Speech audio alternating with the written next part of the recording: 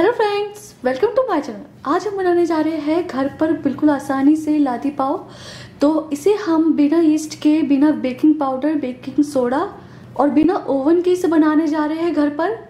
तो अगर आपके पास इनमें से कोई सी भी चीज़ नहीं है, जैसे आपको अगर दाबेली या फिर पाव भाजी खाने का मन कर रहा है, बाज़ार बंद है, आप बाहर से नहीं ले सकते हैं तो आप घर पर इसे आसानी से बना सकते हैं घर की चीज़ों से। तो पूरा वीडियो ज़रूर देखें और इसे ज़रूर घर पर एक बार ट्राई करें। और अगर आपको ये हमारा वीडियो पसंद आए तो प्लीज़ इसे लाइक और शेयर करना ना भूलें। सब्सक्राइब कीजिए हमारे चैनल को और प्रेस कीजिए बेल आइकॉन पर ताकि हमारी वीडियो सबसे पहले आप तक पहुँचे। सबसे पहले हम एक बोल पर छन्नी में डेढ़ कप मैदा लेंगे। एक चम्मच इसमें हम पीसी हुई चीनी ऐड करेंगे यानी कि शुगर पाउडर ऐड करेंगे। आधा चम्मच नमक ऐड करेंगे। अब ये हमने एक पैकेट इनो फ्रूट सॉल्ट का लिया है तो वो हमें इसमें ऐड करना है। तो इसे हम छान लेंगे सारे इंग्रेडिएंट को। इसे हम साफ़ हाथों से पहले मिक्स कर लेंगे। अब इसमें हम चार चम्मच दही ऐड करेंगे। दही हमें नॉर्मल टेम्परेचर में लेना है। और दही हमारा खट्टा है, इसमें दही हमें खट्टा ही चाहिए।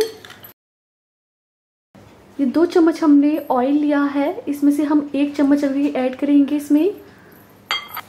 और इसे मिक्स कर लेंगे अच्छे से।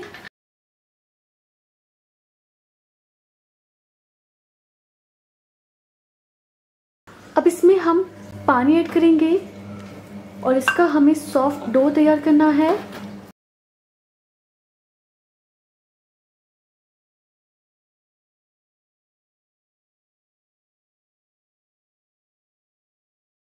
तो देखिए, डो इस तरीके से इतना सॉफ्ट होना चाहिए। अब इसे हम मसलेंगे सात से आठ मिनट तक।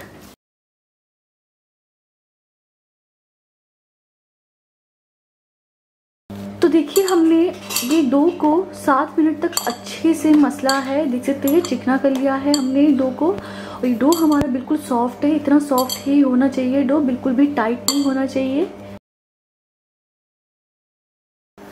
अब ये हमने एक साफ़ कपड़ा लिया है, जिसे गीला कर लिया है।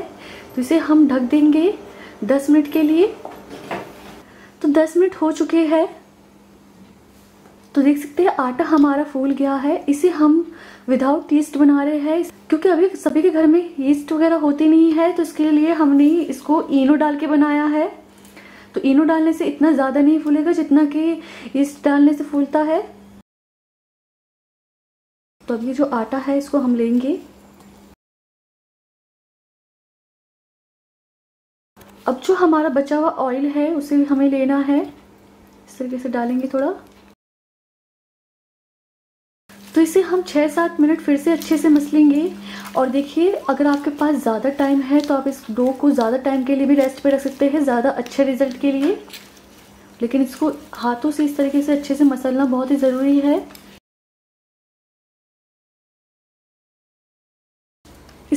बाकी जो हमारा बचा हुआ ऑयल है, वो भी ऐड कर लेंगे, फिर से वो भी डाल देंगे। और इसे मसलेंगे।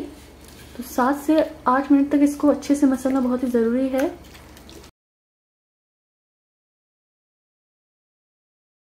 तो देखिए, हमने ये आटे को अच्छे से मसल लिया है। तो डो को अच्छे से मसलना बहुत ही ज़रूरी है। हमने इसको अच्छे से मसल लिया है। अब देख सकते हैं, इस तरीके से हमें रोल कर लेना है इसको। तो देखिए डो हमारा चिकना हो गया है। अब हम इसको कट करेंगे नाइफ से।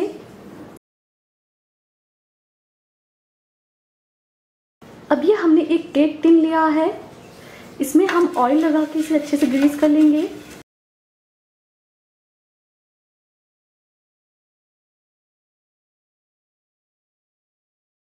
मैदा डस्ट करेंगे इसके ऊपर। इसको अच्छे से फैला देंगे इसमें।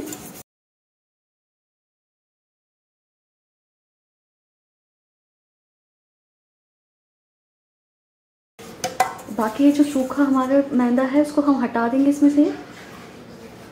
अब हम जो हमारे कट के हुए हिस्सा है, उसको लेंगे। और इसको हमें इस तरीके से हाथों से गोल कर लेना है।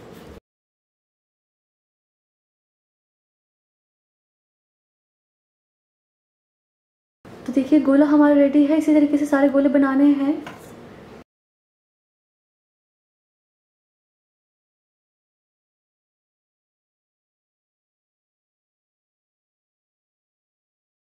तो देखिए, हमने सारे गोलों को इसमें रख दिया है और आधे आधे इंच की दूरी पर हमने रखा है इसको।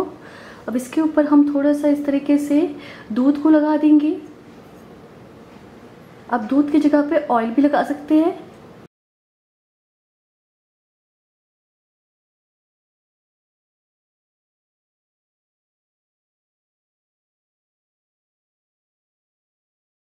तो देखिए, हमने गैस पर कढ़ाई को प्री हीट कर लिया था 10 मिनट। तो देखिए, हमने ये स्टैंड इसलिए लिया है कि ताकि थोड़ा ऊँचा रहे। अगर आपके पास कोई बर्तन है, प्लेट वगैरह, आप वो भी यूज़ कर सकते हैं, लेकिन थोड़ा ऊँचा ही बर्तन यूज़ करें। तो जो हमारा कंटेनर है, उसको हमने इसके ऊपर रख दिया है। इसे हम ढक देंगे। और कढ़ाई के ऊपर आप जो भी बर्तन ढके, वो ऐसा ढके जो एकदम टाइट बंद हो जाए। तो इसे हम पाँच मिनट तेज आँच पर पकाएँगे, उसके बाद हम इसे पंद्रह मिनट लो मीडियम फ्लेम पर पकाएँगे, उसके बाद एक बार चेक कर लेंगे। तो देखिए, हमने इसको 20 मिनट पकाने के बाद एक बार चेक कर लिया था तो अभी ये पके नहीं थे तो हमने इसको 10 मिनट और लो मीडियम फ्लेम पर पका लिया है। अब एक बार और चेक कर लेंगे।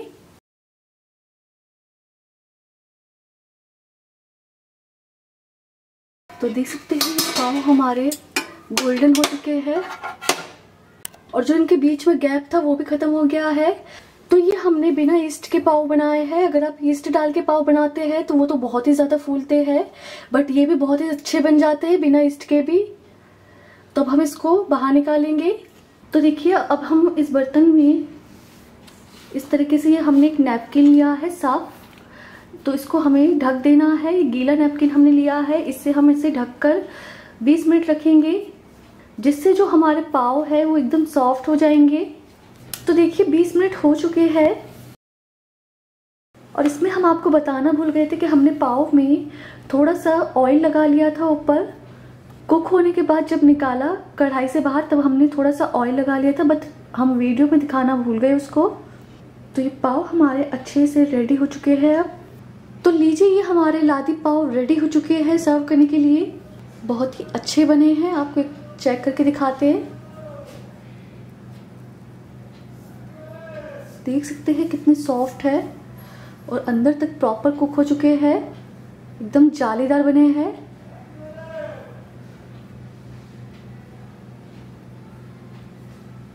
तो अगर आपका भी पाव भाजी खाने का मन कर रहा है या फिर दाबेली खाने का मन कर रहा है तो आप इसे बना सकते हैं घर पर पाव को होममेड वो भी बिना ईस्ट के, बिना ओवन के। और बिना बेकिंग पाउडर, बेकिंग सोडा के। और देखिए, ये डो को हमने 10 मिनट रेस्ट पे रखा था, बट अगर आप रेस्ट पर नहीं रखना चाहते तो आप इसे तुरंत भी बना सकते हैं, तब भी ये अच्छे ही बनेंगे। तो ज़रूर इसे घर पर एक बार ट्राई करें। तो उम्मीद करते हैं कि आपको ही हमारी वीडियो पसंद आई होगी। अगर आपको ही हमारी वीडियो पसंद आए तो प्लीज़ हमारे वीडियो को लाइक कीजिए शेयर कीजिए। आप अपने प्यारे से कमेंट में भी सकते हैं। अगर हमारे चैनल पर नए हैं तो हमारे चैनल को सब्सक्राइब भी कर सकते हैं हमारे लेटेस्ट वीडियो अपडेट के लिए। बेल आइकन पर ऑल पर क्लिक करना ना भूलें। अब हम आपको मिलेंगे अगली वीडियो में। तब तक के लिए थैंक यू